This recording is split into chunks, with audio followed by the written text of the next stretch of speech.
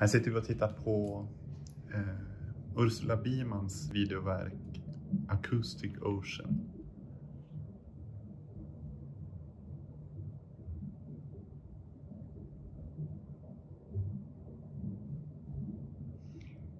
Acoustic Ocean undersöks den komplexa relation mellan människor och icke-människor. I videon Ursula Wiman har kombinerat befintliga ljudinspelningar gjorda av marinbiologer i olika delar av världen. Dessa ljud av marinlivet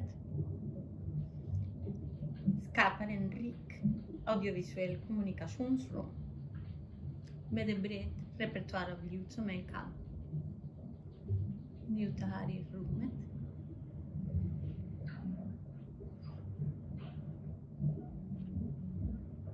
Video också presenterar en, marin, en kvinnlig marinbiolog som är inspelad av Sofia Jana, en samisk marinbiolog som sätter olika mikrofoner och paraboler för att fånga dessa speciella ljud som vi människor är inte vana att lyssna, inte ens förstå. Igen försökt att skapa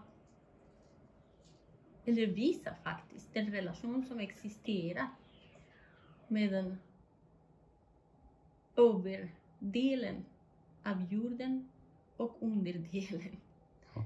Under ytan och över ytan. Under ytan och över ytan. Skapa inte en division eller en skillnad, men att koppla ihop igen. I alla fall i våra tankar. Mm, fint.